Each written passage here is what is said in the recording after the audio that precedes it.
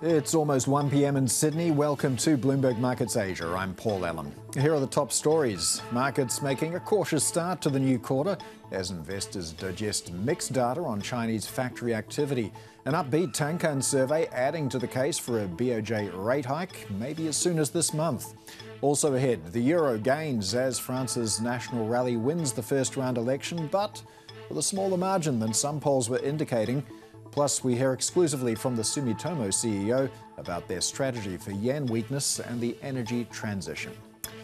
All right, uh, let's have a look at how markets are trading in Asia at the moment. Something of a mixed bag around the region right now. We do have the Nikkei in positive territory by a quarter of 1%. We did, of course, have those uh, Tankan survey numbers out earlier pretty good, really. Um, some of the uh, readings were perhaps a little weaker than anticipated, but the large manufacturing index in particular uh, was uh, better than what we were expecting, an improvement on the quarter prior, and uh, seems to keep the door wide open for some BOJ tightening at the end of this month. Uh, elsewhere, we do have Hong Kong closed, of course uh, commemorating the uh, 1997 handover. The Shanghai Composite, though, only a few points in positive territory, better by a tenth of 1%. Here in Australia, meanwhile, we are home to one of the market's only other um, underperforming markets at the moment, the ASX off by about four tenths of 1%.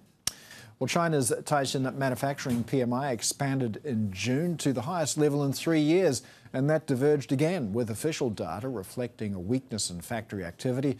China correspondent Minmin Low joins us now with the details. So, Min Min, conflicting numbers. What do they tell us? Yes, that Caixin manufacturing index really surprising to the upside, coming in at 51.8, beating expectations of 51.5. Now, this is the strongest print we've seen since May of 2021. It's the eighth consecutive month of expansion and really telling a very different story from the official PMI index, which came in flat in June, contracting for a second straight month. Now, the reason for this divergence is that the Caixin index tends to capture the smaller export-oriented firms, while the official index tends to capture the larger state-owned enterprises. So what this means is that exports is still doing much of that heavy lifting to keep factories going, while perhaps the slower domestic consumption is now weighing on the supply side as well. We're seeing gauges for input and output prices slipping slightly in June, which suggests uh, slightly stronger deflationary pressures on factory gate prices. And also we have those trade tensions ratcheting up as well increasingly more trade barriers erected against Chinese producers. That's also going to weigh on manufacturing going forward. All right, let's uh, talk about the services and construction PMIs as well. We saw a, a bit of a slowdown for those metrics also. That's right. The non-manufacturing PMI came in below expectations, hovering just above 50 now. The expectation was for 51. Uh, and uh, perhaps the most disappointing was the construction sub-index, which had fallen to 52.3 versus 54.4 the previous month. This really suggests that those government-led infrastructure investment is losing steam a little bit. That has been quite critical to recovery. So stronger stimulus certainly will be needed going forward. We're expecting that to come come from more fiscal measures given the constraints of monetary easing now, with the PBOC being very reluctant to cut rates uh, given the pressure on the yuan. So home sales uh, continuing to slow also, uh, even as cities uh, easing home buying curbs. Is, is the medicine not working? Yeah, well, home sales is down 17%. Some of those measures are working because that, that decline is now slower than the previous month. In May, the decline was 34%, so much steeper decline in May, uh, which suggests that those home buying curves that are being eased in first-tier cities are taking effect. We're seeing this 30% jump in home sales in the first 25 days on, of June compared to May in places like Shenzhen and Guangzhou. These are the cities that have slashed down payment ratios and either removed or lowered those mortgage rate floors to make home loans cheaper. But still, uh, overall, economists think that we're still not out of the woods yet when it comes to the property sector, and they're calling on the government and the PBOC to really double the liquidity that they're injecting into that home buyback program to mop up those excess unsold homes. And of course, we still have plenty of uh, developers that have been struggling really in default for more than a year, and they're really counting on this sales revival to help persuade debt holders and to fight off their liquidation. Paul. All right, China correspondent Minmin Low there. So uh, let's get a bit more on markets and the picture in China and Japan. Also, head of FX and macro analysis for Asia at InTouch Capital Markets joins us now. Todd, thank you so much uh, for your time today. Uh, I want to start off, if we can, in China. Still pretty sluggish readings on these PMIs. The official PMIs over the weekend uh, weren't too great. Uh, the uh, read a little bit better. Um, but we do have manufacturing still in contractionary territory. We've got this plenum, of course, coming up in a couple of weeks' time. Uh, how much longer do you think policymakers are going to stick with these incremental measures to support growth? When might we see something a little bit more convincing?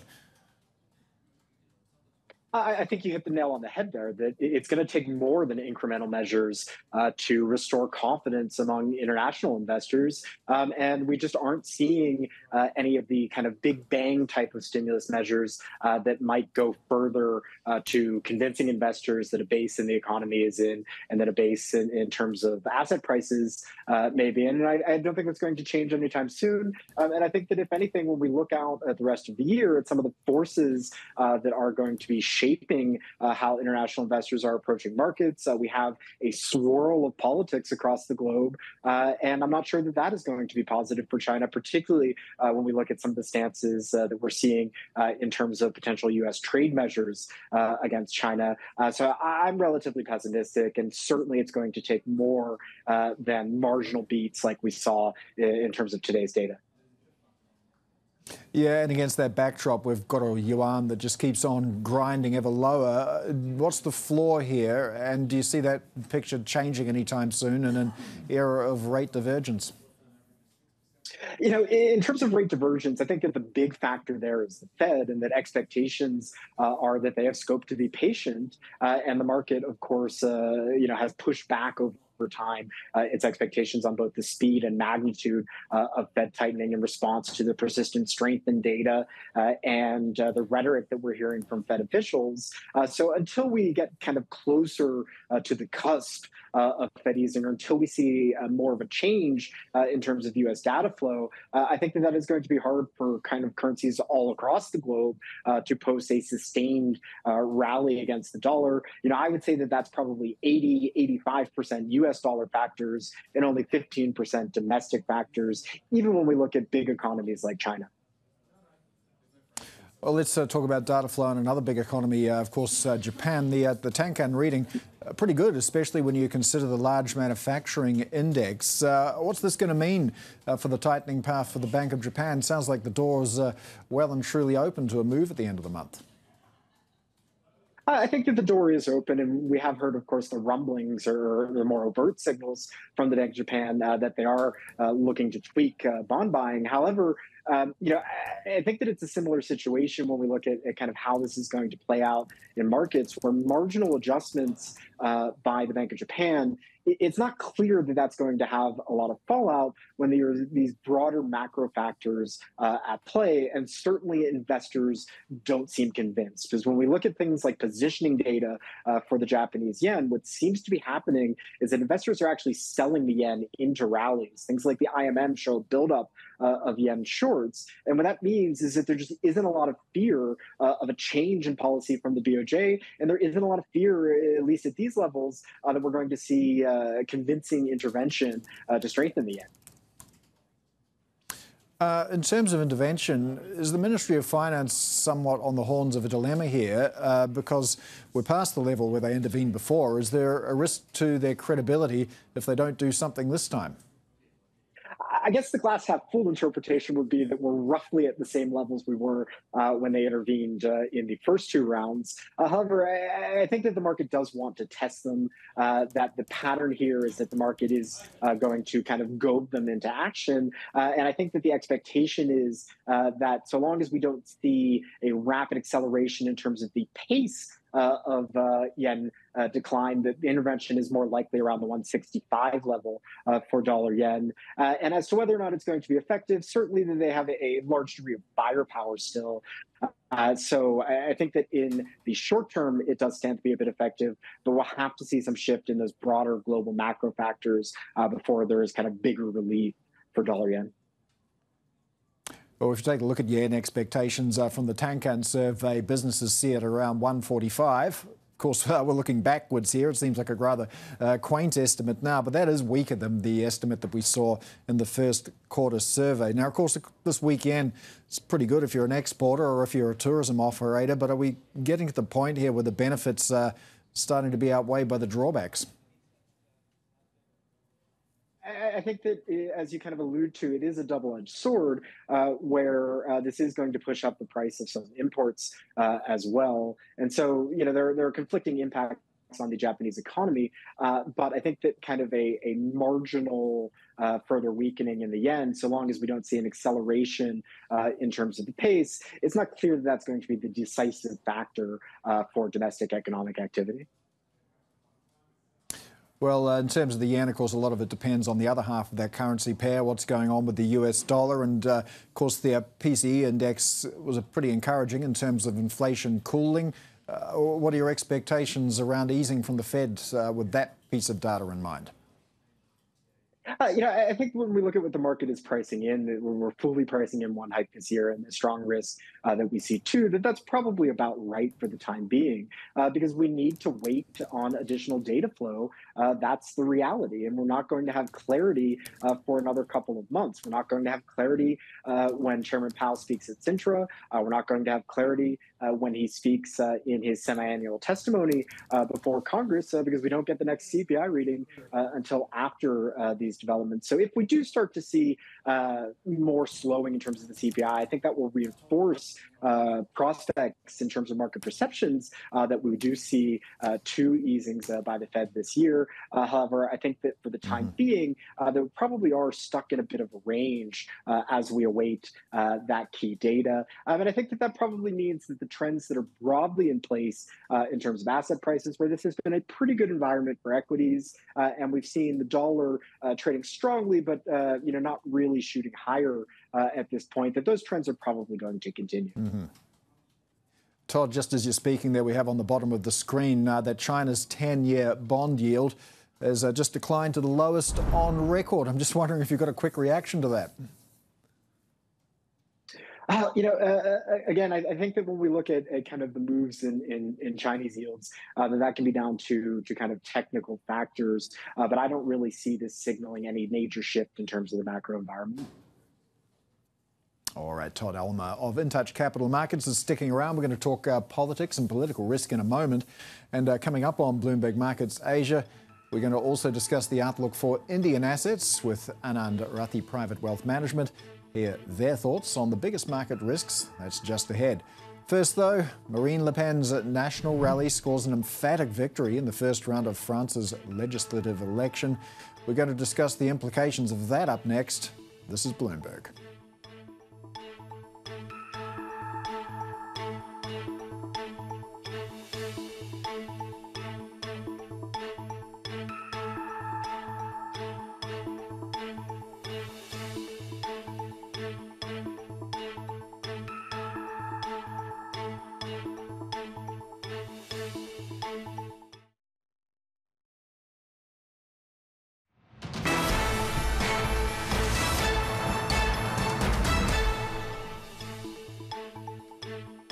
In an unambiguous vote, the French people have demonstrated their desire to turn the page after seven years of contemptuous and corrosive power.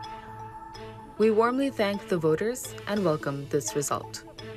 This first step towards choosing an alternative is a mark of confidence which honors and obliges us.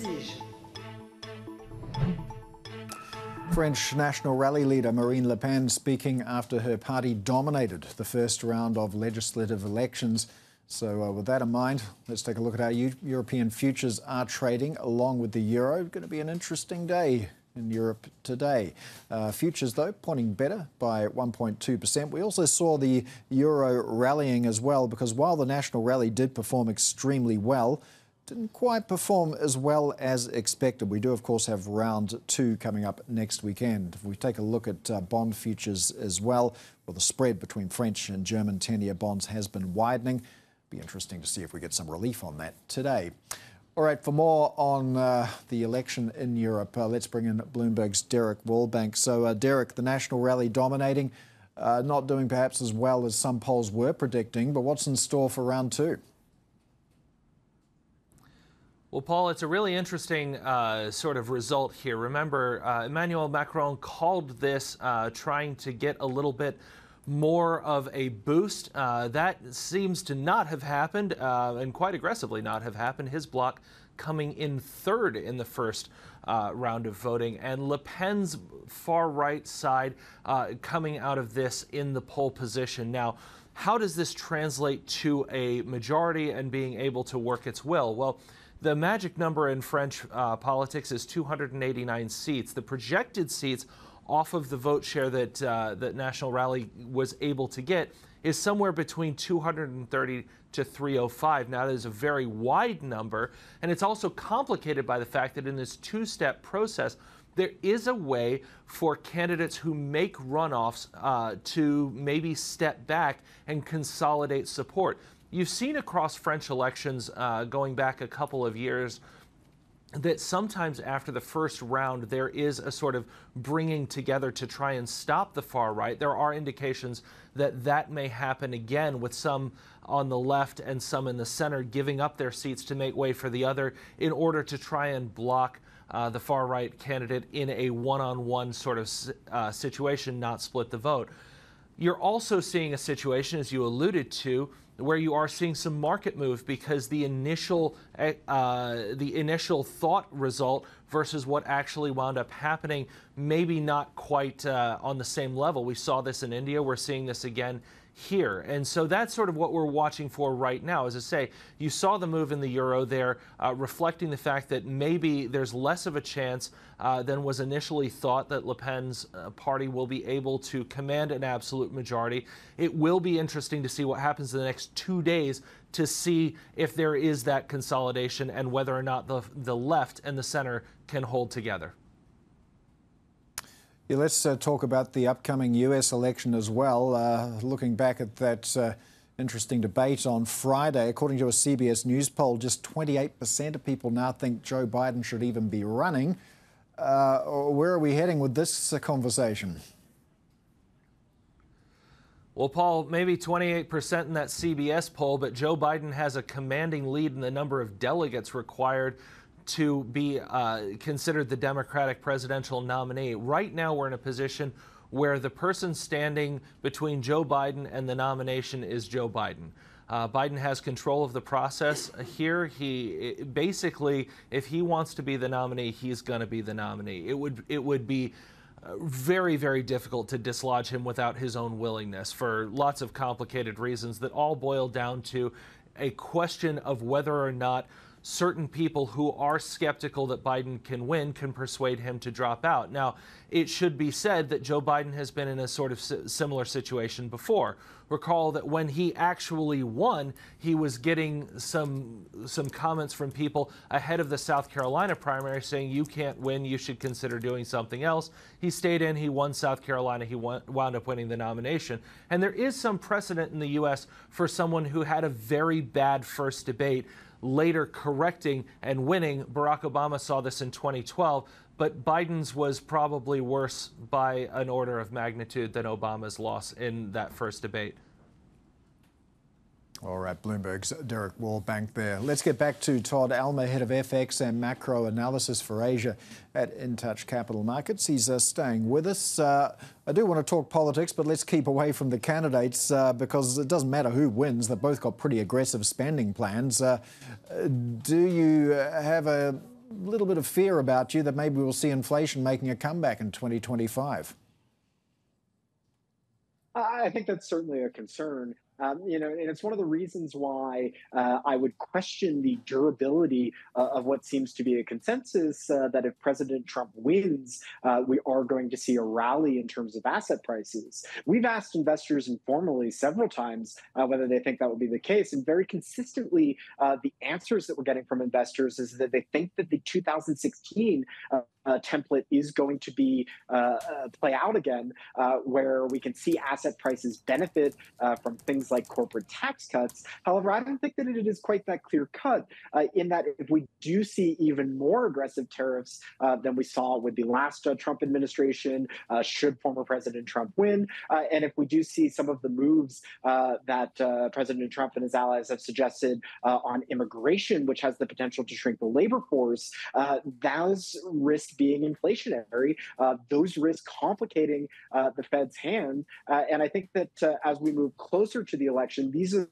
the questions uh, that investors are going to have to grapple with. Of course, the election not until November, and uh, a lot of things could happen between now and then. But uh, let's get back to France, where we've got a second round of voting coming up on Sunday. Um, now, we did have the euro, a number of other European assets uh, performing a little bit uh, better, uh, some of the futures looking better as well after the national rally didn't perform quite as well as expected. Um, can you talk to us about your case for the euro from here?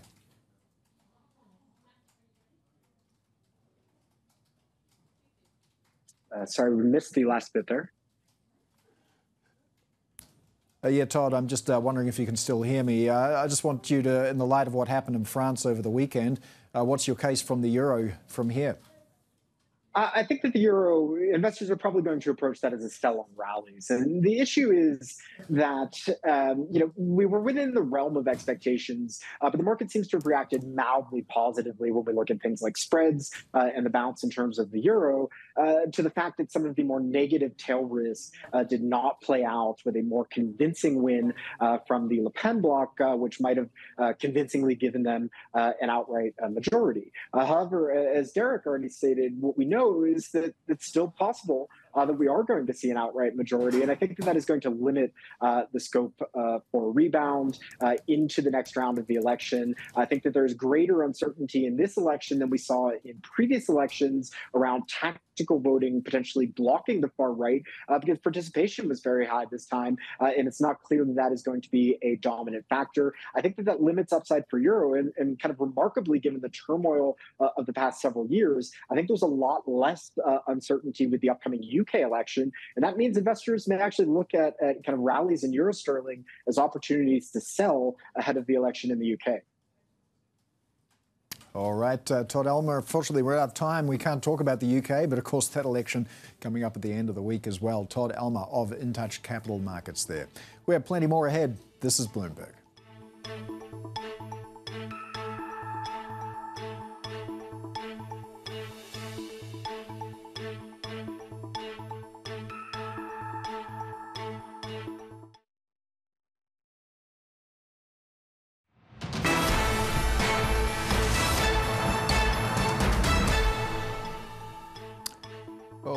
Let's check in on China rare earth stocks performing pretty strongly. Uh, all of them there in green territory, advancing after China vowed for more protection of its critical minerals. Rare earths belong to the country. No organization or individual is allowed to claim them. These are the words of the State Council. Well, reminding us all that China is, after all, a communist country. China rare earth stocks are performing pretty strongly there. Okay, going in the other direction, let's take a look at uh, the 10 year yields on uh, China bonds. Well, that's uh, slipped to the lowest ever. So, um, investors continuing to snap up bonds. Uh, this is about uh, amid pessimism about the economy, expectations for further stimulus as well. So, the 10 year government yield declining uh, to 2.187. Plenty more to come. This is Bloomberg.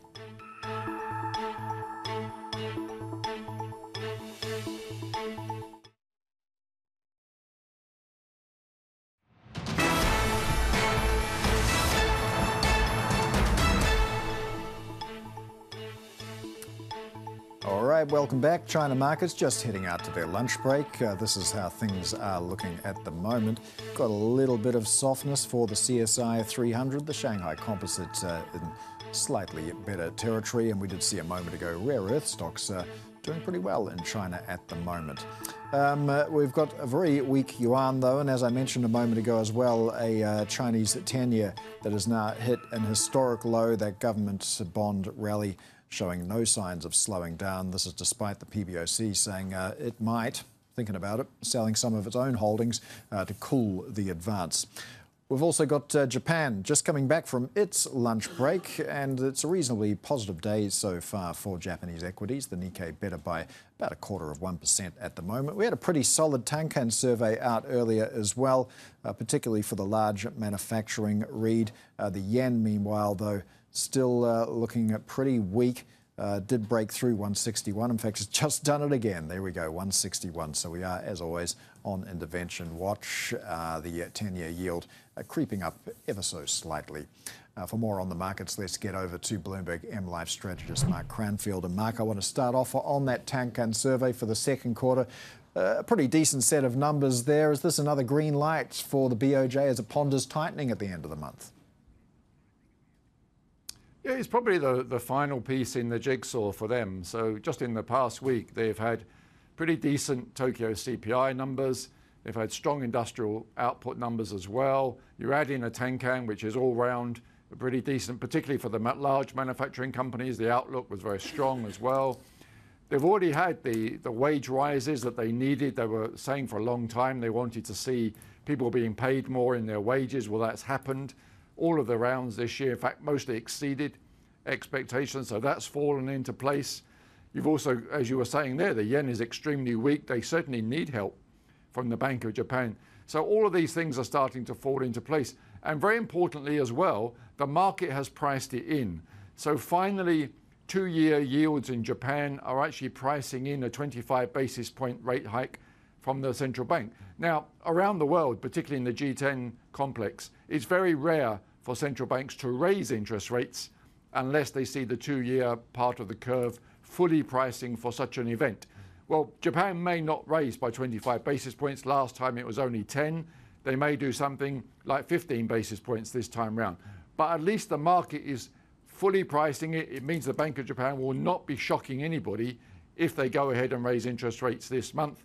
And that is what most central banks want to see. They want to see that the market is already there and they're just guiding them into the place where they already know they are. So, from that point of view, everything is falling into place. It would be a surprise if the Bank of Japan doesn't do something at the end of the month. Um, what are we expecting to hear, though, in terms of the bond buying program? Is there still a bit of a mystery to be addressed in that regard? It's there's going to be a reduction. I think that's pretty much what they've signalled. I don't think anybody will be surprised about that. It's really a question of the magnitude. And certainly, if they want to have an impact on the currency, if they want to really help to support the yen, it needs to be quite a large reduction in purchases. Some of the numbers which have been talked about is just reducing the, the purchases by 500 million. Well, that's probably not really going to do it. They probably need to come in with a big bazooka type number, a number which overwhelms market people. So something bigger than analysts are already expecting. And to bring it forward, to do it straight away, there's some suggestions that they're going to talk about it in July, but they might not act on it straight away.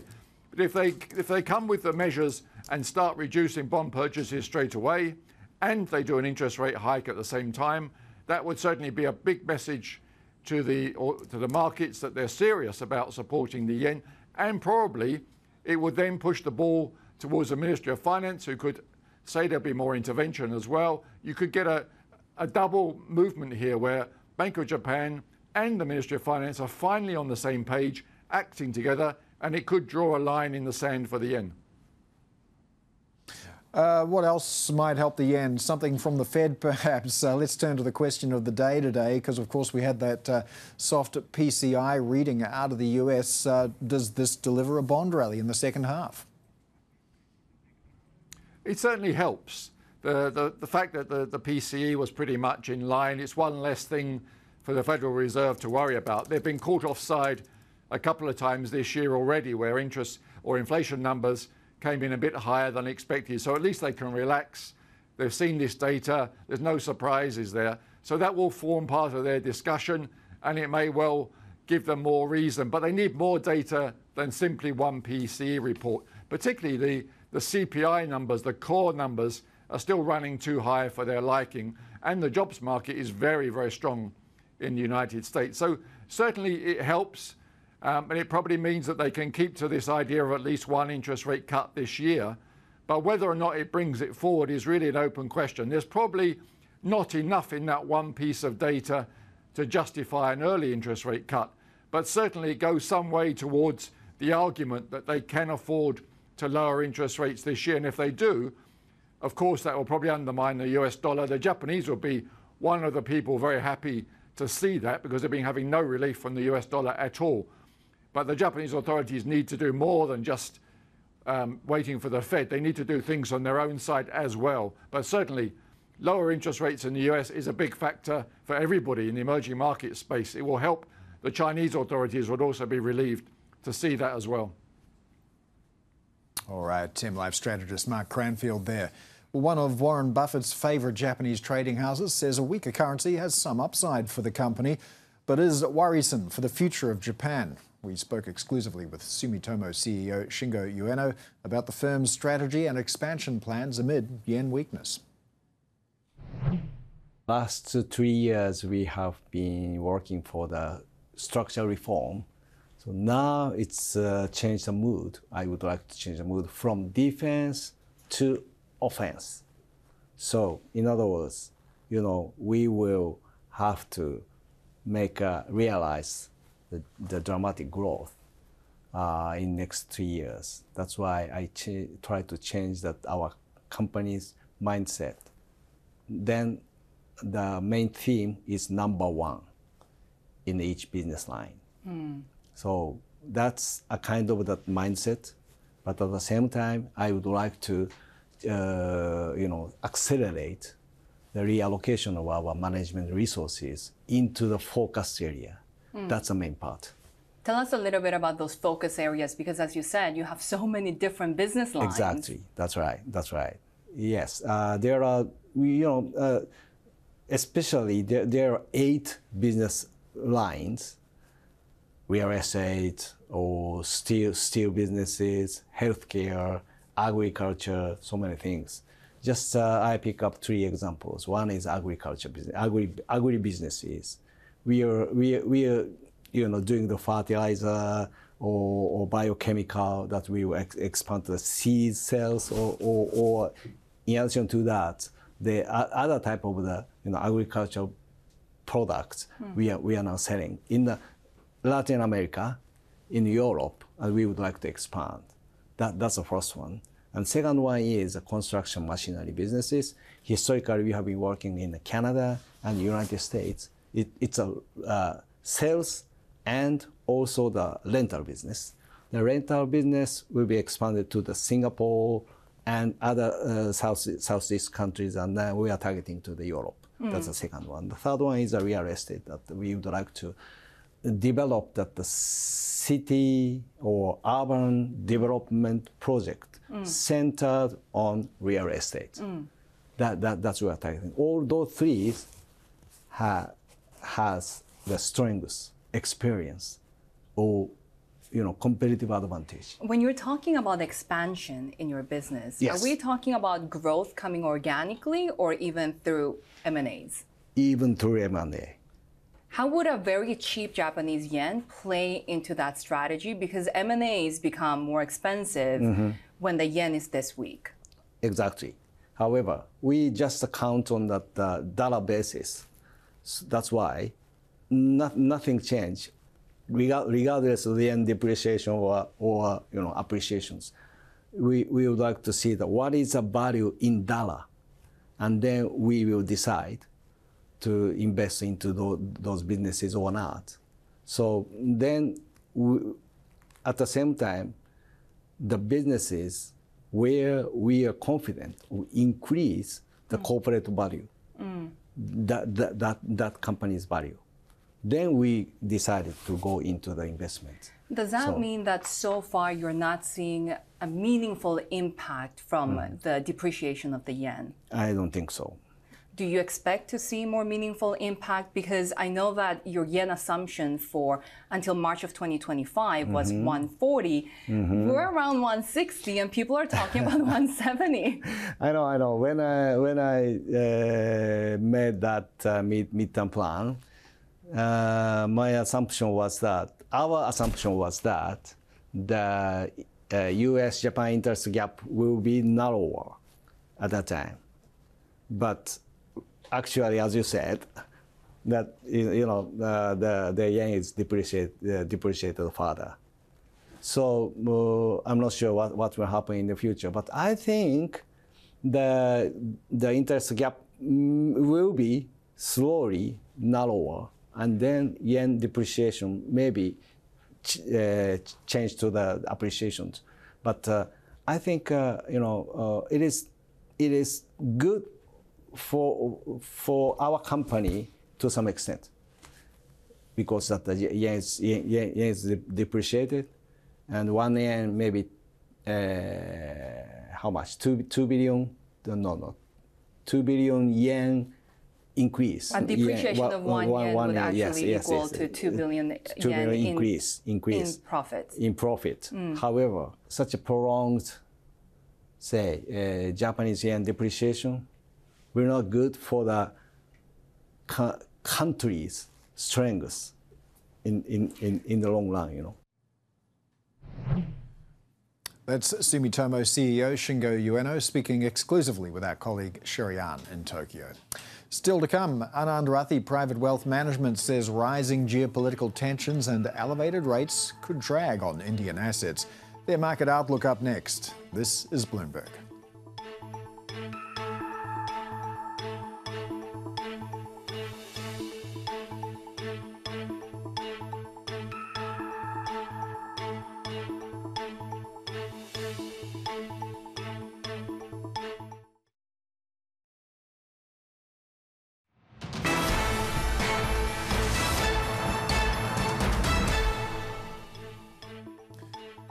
Back to Bloomberg Markets Asia. You're watching the India Focus, and here's a look at Indian markets just ahead of the open. Bit of a mixed bag at the moment. Uh, pretty tepid, actually. It looks like we're setting up for a pretty flat start, uh, which is um, unusual considering what we've seen so far in the first half. India's stock markets have been riding a bullish trend, both the Sensex and the Nifty rallying in the first half of the year. Small and mid caps have remained in favour with strong demand from retail investors. So let's discuss third quarter investment strategy with Shweta Rajani, Senior Vice President and Mutual Funds Head at Anand Rathi Private Wealth Management. Shweta, thanks so much for joining us today. So, yeah, great first half for Indian equities. Uh, as we head into the second half, what's the outlook for you? Is this still a, buy the dips market? Hello, good morning. Uh, yes, I would say this is a market where it's fairly priced, especially you know the large and small cap segment, uh, mid cap also in pockets. So uh, definitely a market to buy. Uh, the upside that we've seen in the first half, we can very much expect that to continue even in uh, you know the forthcoming quarters as well. So fundamentals in place, and therefore definitely a buy, I would say. So we've got uh, foreign inflow, inflows likely to rise in the next 10 months as well, because of course on Friday, Indian bonds were included in the JP Morgan Emerging Market Bond Index. That might prop up the rupee near historic lows as well.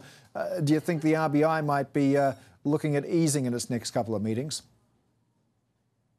Yes. So, uh, you know, definitely you mentioned the inclusion in the JP Morgan bond index. We're expecting $30 billion to come in because of that inclusion. We've already seen, you know, once the news is out, uh, there have been around $12 billion coming in into the market. And that's going to have cascading effects, not just on pushing down the bond yields, but also giving a favorable uh, equity market valuation, giving some comfort to the rupee. Uh, so that's definitely a positive and will have, you know, multi-effect on various asset classes. So uh, yes, it could mean uh, you know RBI looking at rate cuts, uh, where but whenever that happens, bond yields definitely uh, getting pushed down, and equity markets uh, rising to you know to that effect because of fund flows coming in. Yeah, we've seen some pretty good traction uh, with large cap stocks. Is that where you see the money rotating now, or is this smaller investor passion for small and mid cap stocks likely to continue? So actually, uh, you know, if you look at this, there's actually money flowing in in all the three segments of large, mid, small. But in terms of proportion, there's more money heading towards large cap. That's given because you know if I'm looking at the three market capitalizations, uh, large cap is slightly favorably valued compared to the other two. But you know, if I just look at the monthly money that comes in the form of SIPs, which is around 21,000 uh, rupees per month, 40% of it approximately gets into large and an equal 30-30 is getting into the mid and the small cap space. So uh, you know, directionally, more money going into large, but it doesn't mean that money is not going into the other segments. Uh, that's, you know, where, uh, kind of where the money is heading. Yeah, we've also seen a rapid influx of money heading into uh, thematic and sectoral funds as well. Have you had any concerns about um, the amount of concentration, the amount of risk that might be building in this area? Uh, uh, you know, actually, if you look at it, uh, I would not say it's too much of a risk because if you look at various factors in terms of what's the earnings expectation, where the valuations stand, it in pockets valuations could be expensive, but it's not you know the entire segments overvalued. Uh, as well as this continuous liquidity flow, which is providing at least the short-term stability. So uh, I wouldn't talk about it being uh, too risky at this point of time. Uh, there have also been a few episodes of corporate governance problems at some mutual funds. Is this something your clients have been raising with you? Uh, so yes, because you know there's a lot of noise being raised. Of course, there will be questions that come, but it also is comforting that you have a SEBI which is closely monitoring, uh, you know, each and every step of what the mutual fund is taking. So it actually gives a certain comfort to clients as well that if there's anything going wrong, you have a watchdog who's tracking it very closely. And uh, uh you know, given the current uh, issue, it's been around a week, and you've seen only three to four percent of the assets as an outflow. Uh, so that is actually easing the clients now that there's not too much of a quality issue with the underlying portfolios, and therefore, uh, you know, there may not be too much to worry about. Plus, uh, you know, the comfort of being in a regulated instrument, uh, that is uh, kind of now comforting uh, the clients, I would say, more than concerning them. I just want to get your views on some government policy as well, because of course we've seen an incredibly fast infrastructure build out uh, under Prime Minister Narendra Modi, but seen a few infrastructure failures as well. And uh, over the weekend, of course, uh, we had the partial roof collapse at the new part of New Delhi airport. Uh, we've seen similar scenes at two other airports around the countries and four bridges collapsing in Bihar. Uh, do you have a few concerns about the speed and quality of the infrastructure build we've seen so far? And are there any risks around that? So, uh, you know, given that it's such a huge economy and a lot of infrastructure which has been built up over the years, of course, uh, you know, it's but natural that there could be certain accidents. So, uh, you know, while that is a cause of concern, I would not say it impacts anywhere the trajectory at which we've been growing in terms of infrastructure and the quality. Because if you have negatives, uh, you know, if you have two, three negatives, I'll say you have uh, you know, another seven, eight positives as well. So I don't think it's a deterrent to, uh, you know, government's focus on infrastructure building, and that is what is needed also very much today for, uh, you know, the country to progress to go to the next stage. So I think in terms of uh, government's focus would continue towards infra. Yes, uh, these accidents would only mean that uh, government's focus on the quality also goes up. but yeah, I don't think it will be a deterrent to uh, the speed or the money being allocated towards uh, infra. Yeah, in terms of allocation, we'll, we'll get a few uh, clues uh, very soon because, of course, the budget is coming up. Uh, do you expect the infrastructure allocation to remain the same or higher, or do you see money being spent in other areas as well?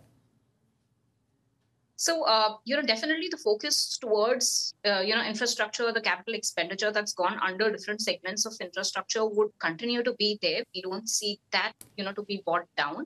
Uh, also, what's happened is the government, I'm sure, realizes that uh, social welfare policies is where uh, they've kind of missed out. While they would have, you know, they have done, uh, they've taken certain steps, but there is a lot more missing in that segment to bring down uh, the disparity between rural urban growth, unemployment in that segment. So we do expect, uh, you know, some of those social welfare policies which could, you know, benefit the rural, benefit agri, uh, you know, bring up employment would uh, definitely get included. But that's also because government has, uh, I would say, a buffer in terms of its revenue. You know, instead of one lakh crore, government has got two lakh crore of dividend from RBI. So without having an impact on the capex plan, they will have a buffer to also spend money on the social welfare activities or you know those policies. So yeah, I think it's going to be a good blend of both these, not compromising on uh, infra. Mm-hmm. All right, uh, Shweta Rajani, we're unfortunately out of time, but thanks for joining us. Uh, Shweta Rajani there of uh, Anand Rathi Private Wealth Management. And staying with India, cricket fans still celebrating their team's victory in the 2020 Cricket World Cup. The nail biting win over South Africa in Barbados at the weekend marked an end to the country's 13 year championship drought. And the win might also boost revenue for a sport that already dominates ad revenue and broadcast rights in India. The Mint newspaper earlier reported that the tournament's Indian rights holder, Disney Star, was expected to rake in more than $2 billion in advertising. Never underestimate the power of cricket in India. Plenty more to come. This is Bloomberg.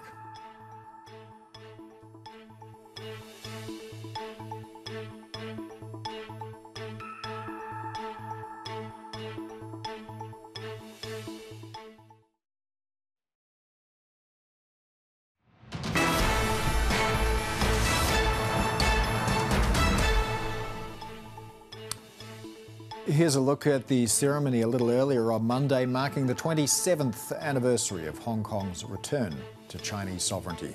Bloomberg Originals has been looking at how the city is becoming more aligned with the mainland and what that means for its future as an Asian financial hub. When Hong Kong was handed back to China after more than 150 years of British colonial rule, Beijing promised a high degree of autonomy in its economic and political systems for 50 years. The city cemented its status as an international financial hub and one of the world's freest economies, bolstered by its rule of law, a free internet and press, and a currency pegged to the US dollar. But at the same time, tension had been simmering between Beijing and Hong Kong's political opposition, which wanted to expand civil liberties. In March this year, Hong Kong introduced its own security legislation. New crimes like treason and insurrection carry life sentences. The threat to national security is real. But it wasn't just increased restriction on free speech and expression bringing Hong Kong closer to the mainland. In 2017, President Xi Jinping unveiled the Greater Bay Area Development Project, an effort to integrate Hong Kong with Macau, Shenzhen, and nearby cities. The dilemma for Beijing is that the crackdown on political dissent has meant that people increasingly view Hong Kong as similar to mainland China. It's its differences that have really secured and underpinned the success of Hong Kong for many, many years. And subscribers can see that documentary in full right now on the Bloomberg Terminal or on Bloomberg.com. It's also available on the Bloomberg Originals YouTube channel. All right, so let's take a look at what to expect at the European Open. Should be an interesting session this Monday morning.